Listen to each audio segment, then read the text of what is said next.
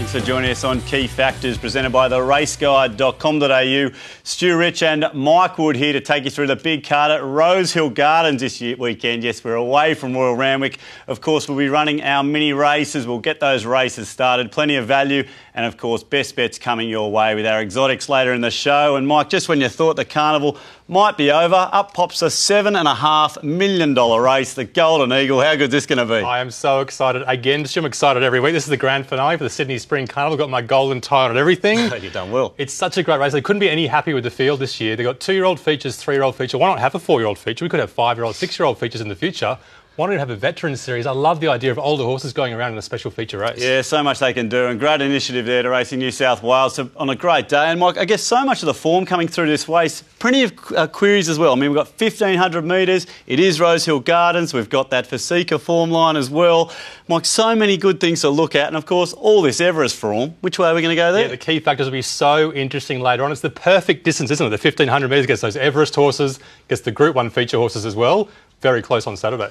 All right, let's get stuck into all the racing now, Mike. And of course, the weather in Sydney this weekend. Well, it's been sun, sun, sun, so we're on a good track. Yeah, the rail's true. Haven't raced there for a few weeks. Should be a good, dry track, very firm. Mid 30s, I think, at Parramatta on Saturday.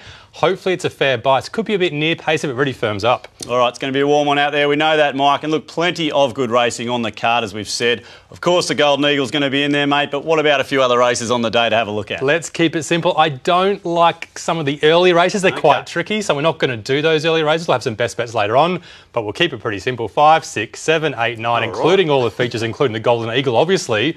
And finishing off race nine, the special of the day has been very well backed during the week, Stu. All right, so five, six, seven, eight, nine. So we'll just uh, be nice and quiet for the first four races there. Keep it simple. All right, let's get stuck into it now. The very first race is the Tab Handicap. It is race five on the card, 1200 metres, a benchmark 78 for the fillies and mares. Three last start winners engaged in the race and some real progressive types here. We've got Miss Invincible, the favourite, $4 into $3.60. We'll go forward and just has to run the 1200 here. We've got Dance Hall Girl, $3.70 another well supported. Swamped the final 200 metres in the Tibby, fresh and back to the 1200. Lisdoonvarna up the top, $5. Chase World to win latest under 61 kilos. We've got Segalas there, $6.50. Very genuine mare, won last two after racing wide at Kensington. And of course, Gen Rules rounding out those under $10 at 750 resuming some Multaja form fresh there from her, Mike. But Miss Invincible, Dance Hall Girl, they're the two favourites here. Yeah, don't like Miss Invincible to 1200 metres. We'll see the key factors soon and see what we make of her. Let's have a look at Dance Hall Girl. Very lightly raced, very progressive, went to a benchmark 70, led all the way over 1200 metres, beats Miss Scorcher. There's some good, strong form in behind her. She went to 1400 metres next start and she knocked up the last 200 metres. She's back in distance on Saturday. Can she win again, Stu? I think maybe. Timmy Martin, horse, going forward. We'll see if all the money comes. Yeah, watch the market, I reckon, with that trainer. Let's have a look at one and a bit bit more odds here, Mike. You found one here, Everly. We're going back to Wyong, 10th of October. Joey Pride trained. I tell you what, Mike, this was a Robbie Dolan peach on the rails early, got him off, and absolutely ran on best down the middle. Yeah, Joey Pride can improve a sprinting mare, can't you? Remember Pecans? We were going to buy into that horse, yes. and she went on to win all those group races. Why did I bring it up? But this horse, Everly, two starts for Joey Pride, two wins, absolutely flying. The form looks only average. But if you keep going through it, the form behind it is quite strong, quite surprising. All right, well, that's why we've got to look at these replays, Mike. Let's get race five underway. Keep your eyes up the top right as we run our mini race here for the Tab Handicap, and plenty here with the form. Yeah, plenty with form. Dancehall Girl knocked up last start, like we said, but Everly has got surprisingly good form, Stu. Okay, the fillies and mares. Who's got all the progression for the first key factor? Looking for horses with upside. Dancehall Girl has to bounce off that last run. She's only a lightly raced horse, we think. Ballistica, she can improve as well. She was quite green in the straight last start. Okay, so we've got one of the favourites here, but plenty of value levelling up here. Mike, how does the distance help us? It's almost the ones that haven't got the gold is the most important here. Miss Invincible up to 1,200 metres of risk. Liz Lisdoonvarna back to 1,200 metres of risk. And Ballistica, she only just sees out the 12, we think. All right, Dance Hall Girl, Segalas and Everly all on top here, Mike, but this looks like a pretty close race. What about the good track? Uh, weren't too sure. The favourites should be okay. Miss Invincible, Dance Hall Girl should like it. Generals, not so sure. Absolutely no gold there, Mike, but position and run, this might help one of them just over the line. Yeah, a lot of our mates love backing on pace horses at this track. I mean, it's Invincible Dance Dancehall Girl. They're drawn so perfectly, but Everly will be camped just behind with Robbie, Do- Robbie Dolan on. Okay, so Everly levels up there with Dance Hall Girl out in front, so we might have a little bit of value to play with here in race number five, but the favourite's well supported also. Let's have a look now at all our ratings, Mike. We've got one favourite there, $3.70, and Everly, we saw the replay, that was good. In form, Robbie Dolan, $14. A little bit of a set on Miss Invincible from the start, you've said. Yeah, I reckon she'll knock up the last 50, 100 metres. Dance Hall Girl, I'm absolutely terrified of her. Watch the market late for her, watch the yard as well. Everly each way all day, the best each way player of the day, we think. All right, some strong confidence there in race number five with Everly each way. Let's have a look now at race number six. It is the Rosehill Gold Cup over the 2,000 metres.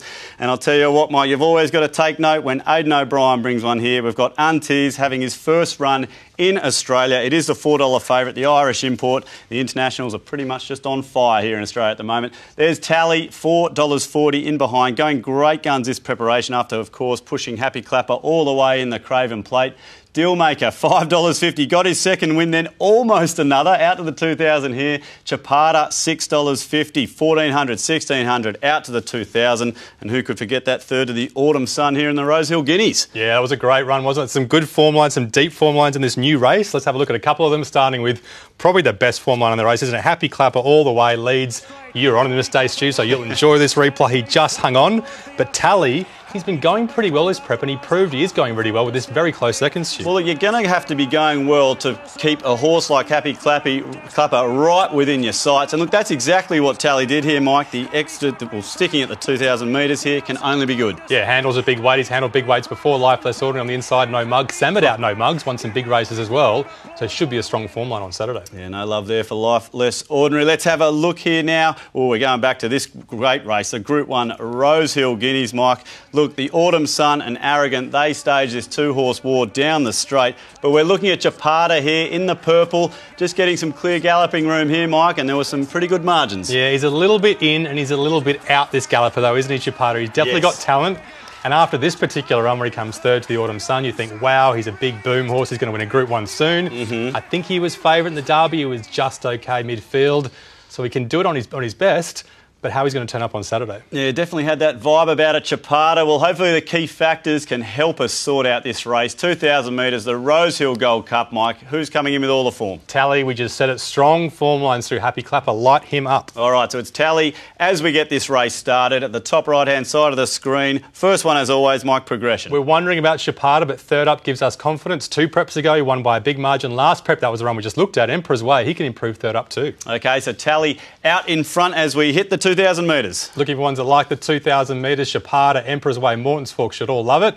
Lejuge another dollar as well. And Tilly's back in distance just okay. Okay, so until there's a couple of legs to make up here, Mike. Plenty of gold there for a few at prices as well. What about the dry, hard track? How does that suit the Irish? We're not playing it too much. We think it's a negative. I think it's a red bar if we had one Yep. for Antilles. Away for, from the synthetic track is a negative for the import. Okay, so it's Tally, Chapada, Emperor's Way, Morton's Fork, Mike. Position in run. Who does this help? Just when you think it's a close race, these two strong on paces lob into the perfect spot. Tally and Chapada get the right position in run, we think. Look, we don't always just show the two replays that they come out on top in the key factors, Mike, but plenty of gold there to finish time, things though. off. We did that time. Let's see if they'll figure in the bets. I know Tally's just going so, so well here. Of course, well supported as well. One of the favourites, $4.40. Chapada right there as well, Mike. Yeah, you're right. A lot of questions on this horse. Is it really one of those winners? Let's see on Saturday. Emperor's Way, pretty good value there, and Morton's Fork as well. But look, no love for the Irish here. No love for the Irish away from the synthetic track. Deal make up to 2,000 metres. Just want to see him. Another stable likes him. Little Lord Mayor could do something from the box seat. Yep. But we like the top four runners. So either of those four runners could be a bet. We'll think Chapada will give him one more chance third up. Emperor's Way is the right odds. But if you like Tally, no knock at all. All right, let's stick with Chapada there in the Rosehill Gold Cup, 2,000 metres. There's a look at two races on Golden Eagle Day. Stick around after the break. We've got the big feature coming up.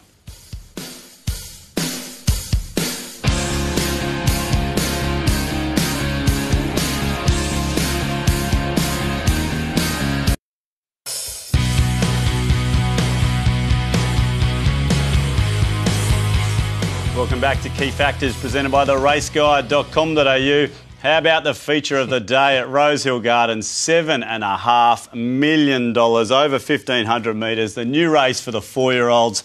Wow, you'd love to own one of these, wouldn't you? Running for the money, $750,000, of course, going to charity in the race. An Arcadia Queen, Mike, absolutely belted in the betting since the barrier draw. Just not quick enough for him in the Everest, but 1500 much more her go. Look at the money here, into the $3.10. Kolding, $5. The Epsom winner freshened for this. Te Akau Shark form lines, we know how that ended up in the Cox Plate. Brutal, $5.50, the Doncaster Mile winner. Drawing the outside here for Tommy Berry. Classique Legend, look at this little drift, out to $7.50. Very unlucky in the Everest. McEvoy jumps on. We'll need a little bit of luck from the one, the 1500, the Query, and the inevitable. What a horse. What a great little Tassie. $10. We know that'll be really well supported. And of course, that ties in the Fasika form lines there, Mike. But Arcadia Queen has been the one the punters want for the Golden Eagle. Yeah, we'll look at three replays. This is the biggest race on Saturday, one of the biggest races of the year. So excited about this four year old race. Let's start with the obvious lead in the Silver Eagle, over 1,300 metres of Randwick. So many of these horses come through this race into Saturday. Some great runs in this race. A margin between first, second, and third, which is a big form indicator for Saturday. The inevitable so strong Fasika. Only second up, remember. She was strong as well. Mizzy not too far away in third. Military Zone, a bit of a hidden run. She, he wasn't too bad in fifth, Stu. Yeah, well, look, this is going to be the, the lead up for the years to come, isn't it? The Silver Eagle and Mike, these two in a bit of a class above out in front here, Mike. Look, what about these margins? A couple of links back to Mizzy and, of course, Military Zone. Got to love the margin to third, and got to love the fact that Fasika was only second up, and she goes to 1500 metres for the first time in her career. All right, let's have a look now at the Everest. No, please, what a no, race it was. it. Yeah, you might want to look away, mate. You were on Classique Legend, as a lot of us were, but we're looking at Arcadia Queen too here, Mike. Look, had excuses. Obviously, Classique Legend had excuses. What did you take from this? We took a big play, or I took a big play because of the firm track. You look at his big, beautiful action, his big, beautiful physique in the mounting yard. He is simply a dry tracker. He Yeah. probably should have second, if not won the Everest this day. Arcadia Queen, look, she kept on late. Yeah. But she has to improve a few lengths, obviously, to beat Classique Legend on Saturday. Well, you think she improved out to the 1500. Let's look at a third replay here, Mike. We've got to because it is the Epsom quality form race. Kolding up on pace this day and Te Akau Shark making the run down the outside. And of course, this ended up with a place in the Cox Plate. Yeah, great form lines, big gap again. This is an even bigger gap to third, isn't it? Te Akau Shark, Cox plate form. Did look, did Kolding win this or did Bossy win this? Probably Well, both. both, yeah. You're on this horse as well. You're having a great run, Stu. He loves 1500 metres as well. He loves a dry track as well, and he's right in this race on Saturday. Look, that is a great replay to look at, and a couple of good margins there from a few of those. So let's Strong see how it all Very strong form. ends up here in the race, Mike. Because let's get it started. It is the Golden Eagle. What a race it is! But how are you going to rate this form? Yeah, well, some handicap form coming into this race. Classique Legend just about should have won the best Okay, sprint yeah. race in the world. So why don't we light him up, Stu? All right, why not? He's the one they've got to catch, and who's got progression here? Well, there's a lot of horses with upside. Arcadia Queen third up. You can tell from the money she's definitely improving. Yeah. The Waller stable must be confident. Brutal third up. He's improving the yard all the time. Yeah, big tick from Bob Peters to keep her in training as well. The favourite, Mike. Of course, the distance. This is the big query, the Yeah, 1500. the same two horses. Arcadia Queen should absolutely Yeah. love the 15. Brutal should love the 15 as well, but really like a firm track. And Fasika, she's never been to 15 before, but she's bred from so you think. You think she'll love it too. All right, that is an absolutely massive kicker for the favourite there, Mike. Hits the front with a couple to go. What about the good track? I know she won on a good four at Rose Hill, but a really hard deck at Rose Yeah. Hill on Saturday. Is it a risk for the West Australian? Kolding, he should be fine. Classique Legend, we talked about him before. He, he's love, should love a firm track. Okay, so it's the two Everest horses, Classique Legend and Arcadia Queen, with their necks out in front in the Golden Eagle and position in run. Oh, how good's this? A lot of gold. Yeah, keeping it pretty simple. Fasika, she should be okay, but brutal. He will need a lot of luck to slot in and hope for a rolling tempo. All right, so it's Arcadia Queen and Classique Legend, one length ahead of Kolding there, Mike. Look, I mean, look, punters have really got to weigh this up, don't they? They've got some Everest form to look at, of course, the Silver Eagle form. We've got Everest form. What a race it is. Which way are we going to play? Let's have a look now for all the ratings and the odds for the Golden Eagle this weekend, Mike. And look, Arcadia Queen, we obviously got the massive kicker there, Mike, but the price, it just went from the barrier draw, what was it 480 into that sort of 293, 10 mark. And, well, Classique, it's the one that went out the gate. Yeah, there's lots of depth in this form, so we think we're pretty confident. The one big question is Classique Legend to 1500 metres. Another big question is can Arcadia Queen bounce back? Yes. The Classique Legend, all he has to do is repeat that run and he will win on Saturday. And Fasika, she should love the 1500 metres at odds. Yeah, great value there. Over $20, I think, Fasika. But Classique Legend there for us in the Golden Eagle. Let's have a look now at the next race. It is race number eight on the card, the Redzell Stakes. Over the 1300 metres. And, well, more Everest form lining up here, Mike. We've got Pierata, $2.80, not very far away in that race. And, well, let's face it, form around all the best sprinters in the land. Drawing 12 here, though, so there's the query. Trekking, $4.20. What a run it was in the Everest, being the last one to qualify up to the 1300 metres. A tick from me. Deprive, $6.50. Well, isn't this horse flying? Swamp them in the Sydney Stakes. Really needs to bring that form, having its first go Rose Hill. Champagne Cuddles. We know this horse is just going to be there, Mike. Super genuine, just missing in the Sydney Stakes. And of course, we'll stick with that Sydney Stakes form. Home of the Brave, leading it, had his chance. Who's going to be leading this one, though? Well, I'm not sure. The tempo could be on and off. Home of the Brave will be leading, we think, but we'll have a look. Let's have a look at the Everest again. Why not? Because this race will be gone soon, so we can keep watching replays while it's recent. There's two big runs coming to this race on Saturday. Trekking down the outside, Pierata up the inside. Look, he's held up a little bit Pierata, so we're rating these runs the same. But the thing you have to say about Trekking is whatever you throw at him, he just keeps lifting late, doesn't he? He sure does. Look, he's just that sort of horse. And I mean, look, are a lot of people going to be looking for excuses here in the Everest from a few of these runners? Yeah, I think, but I think these two runs are simply the best two runs coming to this race on Saturday. And Trekking and Pierata should both love the 1300 metres. Okay, well, let's have a look now at the Sydney Stakes and what a race this was. There's Deprive right out the back. He's going to make his run around the field and end up winning, Mike. But so many of these horses we know so well. Champagne Cuddles just loves to fight. We've got Home of the Brave on pace here. And of course, Fiesta really racing home well here. There are so many good runs to look at. You just nailed it, Shoot Deprive. Look, coming from Randwick to Rosehill, we think he'll be okay. He's never been there before. Maybe he's just a big track horse. Champagne Cuddles maybe prefers. Randwick Home of the Brave. Maybe a wet track he needed. Fiesta was yep. good first up. Redouble, a bit of a hidden run down Absolutely. in the weights. And Easy Eddie was three wide, no cover. But will he handle the 1300 metres? I think I got them all out. Stu. All right, yeah, there's enough to look Just. at in there. Well, that's what we've got to do, mate. Look at all of these replays to get the race started. Let's have a look now, Mike. We're going to get into the key factors, but of course, the form, it's all coming from the Everest. Doesn't take a rocket scientist. Pierata trekking Everest form. Light them up. Which simply means they're the two they're going to have to catch, Mike.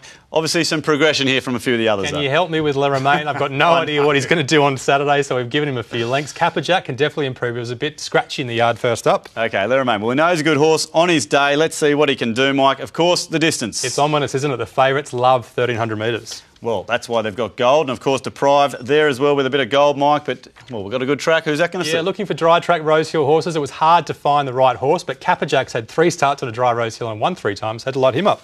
All right, look, there's gold down the bottom, Mike, but they're not making too many inroads here on the Everest horses. But who gets a good position in run for the 1300? Yeah, you kind of want to jump into the favourites, but Pierata's drawn wide and Trekking gets back. Lots of other runners will get a better position run, we think, on Saturday. Two clear form lines in this race, Mike. It's the Everest and the Sydney Stakes. We've got the Everest coming out on top there in the key Pretty factors, but let's have a look now to see where we're going to play because, look, let's face it, odds do tell the story here, Mike. $2.80, $4.20. That's the Everest form, and there is all the Sydney Stakes form in behind. So which way are we going to go? It's a pretty simple game of pick your favourite Everest runner and then is, pick your favourite Sydney Stakes runner. I think I'm going to go trekking. I think the odds are just a bit better, but I could have gone either way. Redouble, maybe just a place because he doesn't win in this grade very often, but he's drawn very well and he will put a sneaky run in on Saturday. And some pretty good odds, Redouble as Massive well. odds. All right, so it's trekking there for us in race number eight. And of course, rounding out the day, we are race number nine, late in the day, Golden Eagle Day, 1300 metres. It's a benchmark 78. And here is another horse. The punters have absolutely crunched $5 into $2.80 already on Thursday. Stuck wide and loomed to win fresh. A lot of dollars there. Juventus, $4.80. A bit slowish out in the Ranier race a few weeks back. We got Charatera there, $7. Resuming, ran on in a trial, took a fast one in Kylese to beat him fresh last preparation. Done Brody Power, $8.50 in, in good form, coming off a Warwick Farm win. Spring Charlie there at the top of the weights at $9, beating Grimoire fresh, and there is Grimoire. $10, who's since gone on. a little unlucky at Randwick, the later start, Mike, but this is one the punters have absolutely come for, and we're about to see why. Let's have a look at one replay. We used up three replays in the Golden Eagle, so we only need one. We think 1,200 metres. First up, there was a little bit of money and some stable confidence. Yep.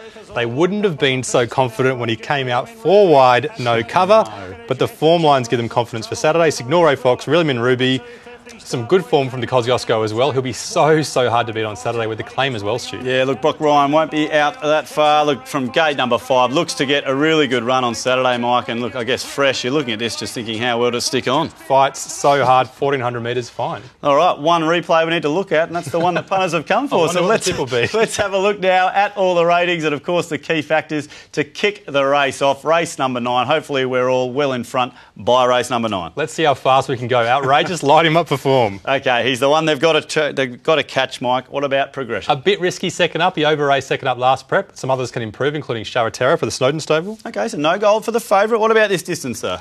Brody Power loves 1200 metres with strong tempo. She'll love 1300 metres too. Okay, they've still got a few links to make up here. You are going quickly through them, Mike. What about the good track? Grimoire, big, strong, solid. Never been to Rosehill before, but we think you'll like it. Okay, we've said outrageous. Gets barrier five, so it probably gets a good position run. Brock Ryan, let him off the leash. Last race of the day, rock hard track.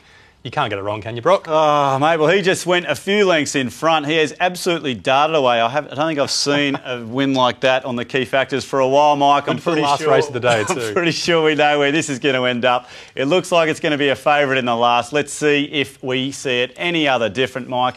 Look at that, screaming across the page. Did you get the $5? I think that's what the punters want to know. I have just moved into my new house and I was out the back building some outdoor furniture when the five bucks popped up.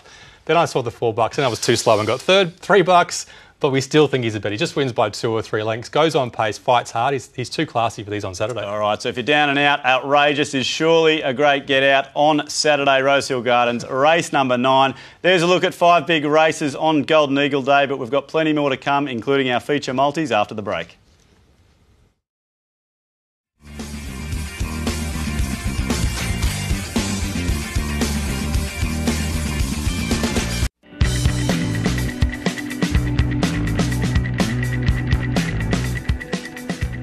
Welcome back to Key Factors, presented by the raceguide.com.au. Well, what a day it's going to be out there at Rosehill Gardens on Golden Eagle Day, Mike. We've taken five, six, seven, eight, nine for the features. What about the rest of the races, mate? One to four. Come on, we need some winners there. I need some cash for Flemington, and I'm not sure about these early races, so I'm betting small, especially the first three. Rule the World, first up. Maybe watch the mark in the yard. Five yep. bucks. Waterhouse, Atlantic King, drawn wide, but a very good horse. Asterius, geez, he was good first up, but Absolutely. he gets back in a small field. Bow Ideal, don't mind him. He seems to be progressing for the Godolphin stable at 420. Then the ones we talked about, Everly, the best each way play of the day. Chapada, third up at 650. Classique Legend, 750. We'll take that with Everest form more Everest form from trekking and outrageous, the best play of the day to finish off the day at Rosehill Gardens. All right, a favourite in the last, but plenty of value across the page there, Mike. And well, if there's value on the day, surely the $100 hot seats where the guys of the punters out there on Saturday have really got to stick their necks out and back a few of these. Yeah, it's a big, long day, so we just want to keep going on Saturday. So we got 20 bucks across the five races. All right, that's nice. I like that. $10 each way, Everly 14 bucks. $20 bundle. Bet we're leaving out the favourite. Chapada Emperor's Way and Morton's Fork at odds. Classique Legend Fasika just because of the price. Arcadia Queen can win. Yep. Trekking and redouble and outrageous to finish the day. We wanted to put more on him, but we only had a lobster left, Stu. All right. Well, look, you've stuck in the races that we went into nice and early. So there's the $100 nice hot seat. Now, of course, the charity multi, we're going to get home a winner here, Mike. We're doing it for Dementia Australia, as you know, and good luck to them because they have a runner in the Golden Eagle, and what a payday that will be for all the charities involved in the race. But let's start off race number eight. We're going to start with trekking. We had to pick one of these from the Everest, didn't we? And trekking's the one for us. And race nine, well, we've said it all show long, and I don't think I've seen a key factor page like that in a while. It absolutely streeted ahead at $2.80. So the 4.2 by the 2.8 gives us a nice little multi there. And in that same race, Mike, let's box up these horses. We've got Pierata, Trekking. Well, we know they're coming from the Everest. Redoubles the one you've signalled out at nice odds and Champagne Cuddles. Well, this horse has just never, ever let us down, let her let most punters down. And she's a late inclusion, a smart late inclusion from you into that charity trifecta. So she always runs top three, doesn't she? She does. You just got to put her in there and a bet like that. Well, look, what a day it's going to be out there. Rosehill Gardens. Make sure you get out there and obviously head to the raceguide.com.au for all your feature profiling. It's going to be a dry, hard, fast track out there and enjoy your day. I'm going to love it. Enjoy Golden Eagle Day.